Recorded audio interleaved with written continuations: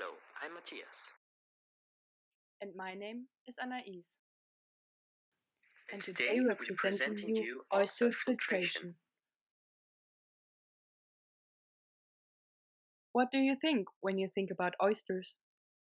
You'll probably think about necklaces of oysters, pearls, and food, both rather expensive.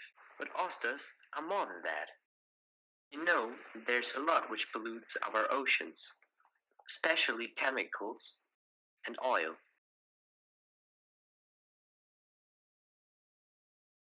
So scientists thought about the problem, and then a New Yorker scientist made an interesting observation.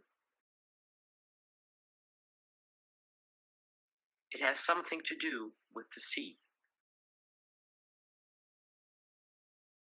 He saw oysters and was amazed by their ability to filter water. They filter the cloudy sea water and the water gets clear.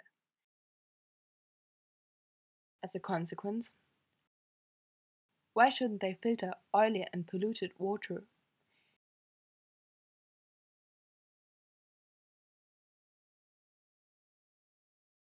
You see how the water gets clearer?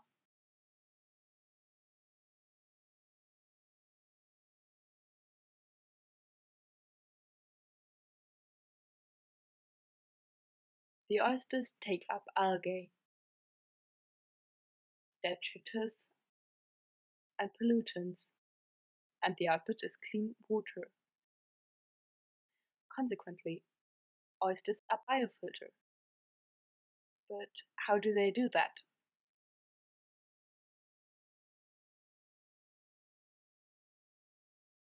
Firstly, they take up the water with their gills.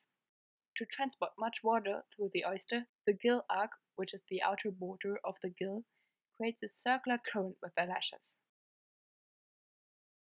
On top of the gill arc, there's a slimy, sticky layer created. The detritus, archaea and pollutants attach to this layer and are transported to the mouth with the help of the little lashes.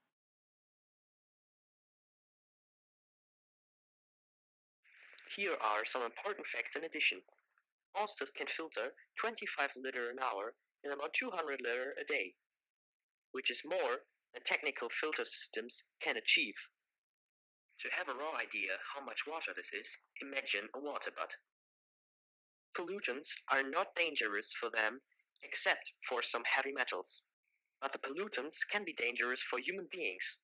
The idea behind these big filters is to make reefs for oysters in big rivers to clean the water. But the reefs are still very expensive. Still, we hope that there are many projects with oyster filtration in future.